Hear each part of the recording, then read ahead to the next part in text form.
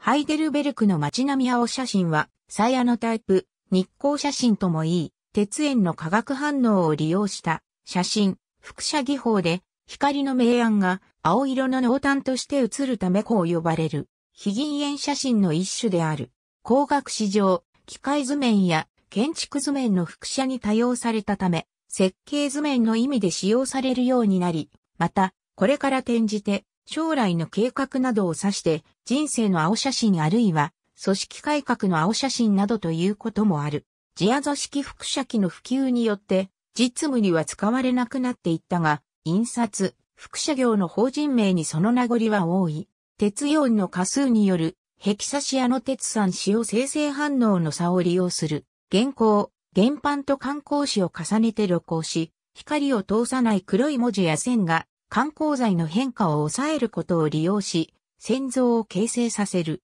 ついで建造液との化学反応により、青く発色する、市内の差を生じさせて、画像を輻射する。文字や線が、輻射先の観光紙上に白く残り、原稿上の光を透かす白い部分が観光紙上では青く発色するというものと、その逆の発色をするものとがある。鉄イオンは光によって酸化から二化へ還元される性質を持つ。このことを利用し、鉄塩を塗った観光紙を露光し、原稿の濃淡を鉄イオンの濃淡に変換して、線像を形成させる。その後、鉄イオンとは反応しないが、鉄イオンとは根性を生成する、ヘキサシアの鉄酸カリウムで現像すると、光の当たった部分に生成した2価の鉄イオンと反応するので、青地に白の輻射が得られる。通常は青写真といえば、これを指す 4FE23K3、FE3 プラス 6FE3 プラス4、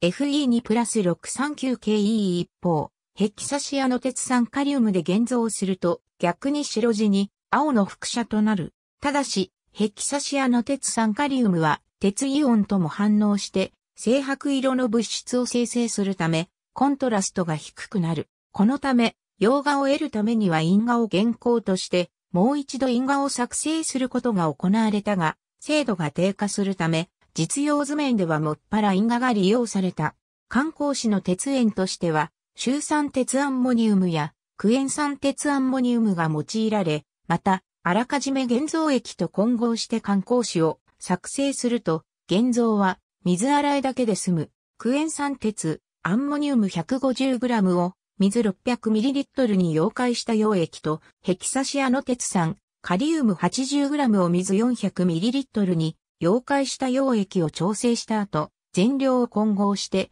半日整地する。ロシ 5A で沈殿物を除いた後、上質紙になるべく均一に塗りつけて暗所で乾燥させると観光紙となる。原稿の厚さにもよるが、直射光なら3分程度で露光が完了する。観光後は水洗いして乾燥し、1%の塩酸、または酢酸に浸して再度乾燥させると、青地が鮮やかになって耐久性が増す。あらかじめ調整液に2クロム酸、カリウム 5g を添加しておくと感度が向上し、白線が鮮明になる。クエン酸塩は褐色のものより緑色のものが感度が高く、臭酸塩を 3g ほど添加しても感度向上と耐久性増加がなされる。乳鉢にアラビアゴム 4g を取り、水 20ml を加えて溶いたものに、クエン酸鉄、アンモニウム 3g を水 6ml で溶いたものを加えて混合する。ついで、塩化鉄 2g を水 8ml で溶いたものを加え、